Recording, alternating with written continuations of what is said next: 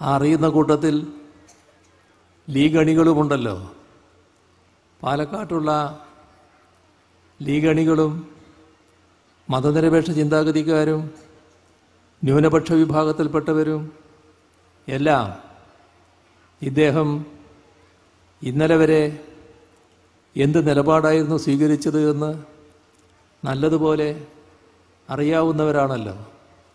അവരിലെല്ലാമുള്ള അമർഷവും പ്രതിഷേധവും. പാണക്കാട് പോയി രണ്ട് വർത്തമാനം പറഞ്ഞാൽ ശമിപ്പിക്കാൻ കഴിയുമോ എന്നതാണ് ഈ സന്ദർശനത്തിന്റെ പിന്നിലെന്ന് സ്വാഭാവികമായും മനസ്സിലാക്കാൻ കഴിയും. ഇത് വലതുപക്ഷ ക്യാമ്പ് യു ഡി എഫ് ചെന്ന് പെട്ടിട്ടുള്ള ഗതികേടാണ് കാണിക്കുന്നത്. ഇന്നത്തെ പത്രത്തിൽ വി. ഡി. സതീശന്റെ ഒരു പ്രസ്താവന കാണാനിടയായി. അത് പണ്ട് പറയുന്നൊരു കഥയില്ലേ?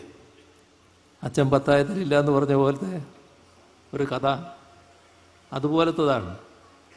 അദ്ദേഹം ഇപ്പോൾ പറയാണ് ഈ പറഞ്ഞയാൾ വന്നത് ഏതെങ്കിലും സ്ഥാനം വാഗ്ദത്തം ചെയ്തതിന്റെ ഭാഗമായല്ല.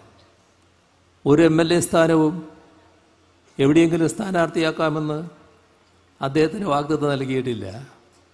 പൂച്ചു പുറത്തായി. എന്താണ് നടന്നത് എന്നതിന്റെ മറ്റൊരു ഭാഗം വി ഡി സതീശൻ പരസ്യമായി പറയുന്ന നിലയാണ് കാണുന്നത്. ഇത്തരത്തിലുള്ള അവസരവാദ നിലപാടുകളിലൂടെ നമ്മുടെ നാടിന്റെ പൊതുവായ അന്തരീക്ഷം മാറ്റിമറിക്കാമെന്ന് കരുതേണ്ട.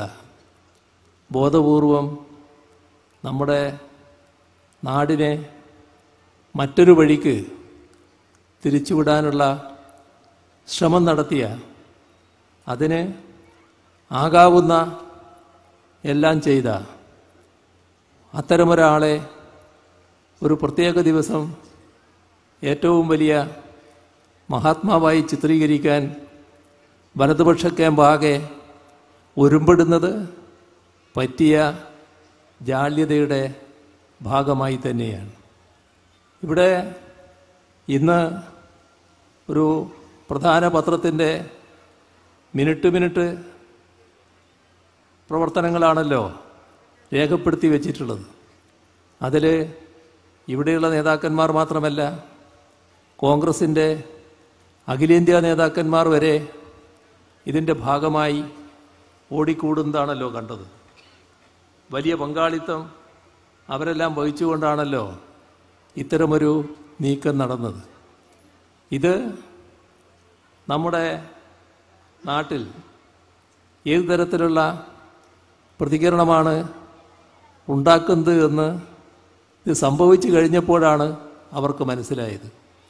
ആ ആശങ്കയിൽ നിന്നാണ് ആ വെപ്രാളത്തിൽ നിന്നാണ് ഉടനെ പാണക്കാട്ടേക്ക് പോകാൻ തീരുമാനിച്ചത് എന്ന് പകൽ പോലെ വ്യക്തമായിരിക്കുന്നു.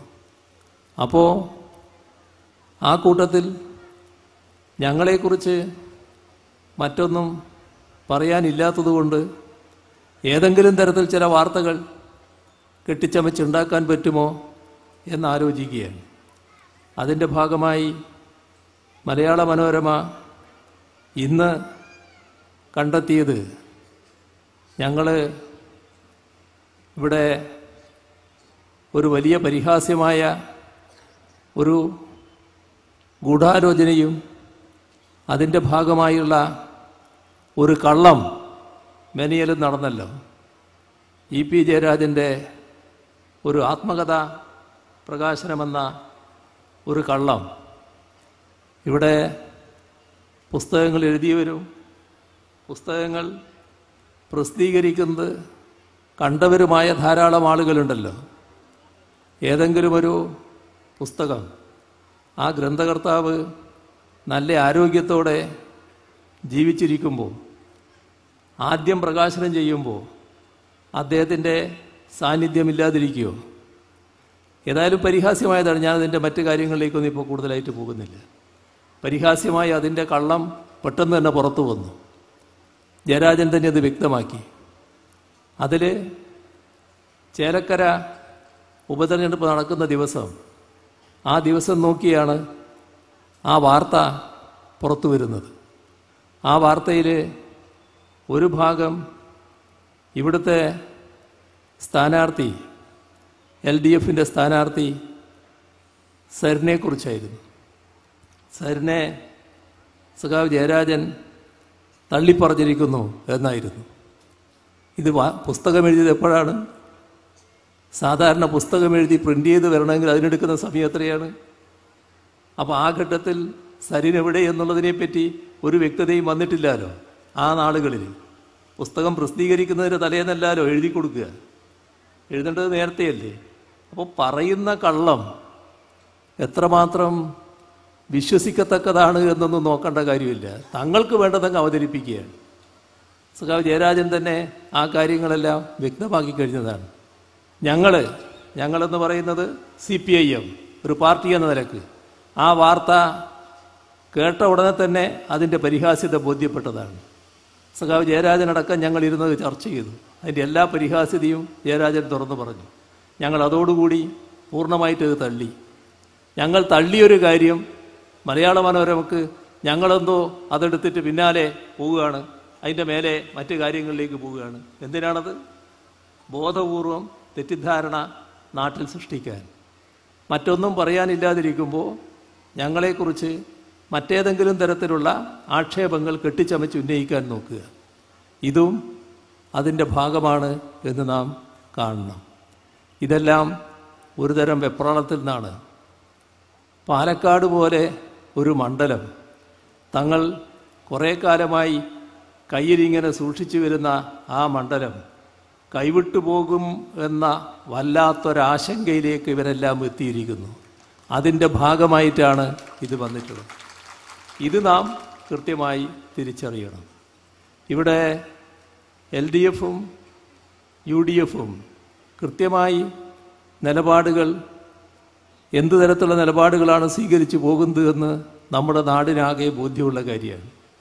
നമ്മുടെ രാജ്യം ഭരിക്കുന്ന ബി ജെ പി നമ്മുടെ നാടിന് നേരെ തീർത്തും വിവേചനപരമായ നിലപാടാണ് സ്വീകരിച്ചു പോകുന്നത്. നമുക്കറിയാം നേരത്തെയുള്ള എല്ലാ ഘട്ടത്തിലും നാടിനെതിരെ കേരളത്തെ പ്രത്യേകമായ കണ്ണോടെ കേരളം പച്ചപിടിക്കാൻ പാടില്ല.